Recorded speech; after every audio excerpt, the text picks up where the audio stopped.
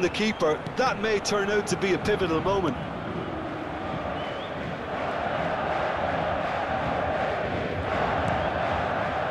Beckenbauer. The attendance for this match was 72,306. So, Jim, is that the manager telling the forwards that they must stay forward for now? Well, I think he just is concentrating on the shape here, and he wants them to press as high as they can and get in the right position to do that collectively. Neymar goes on a charge down the left.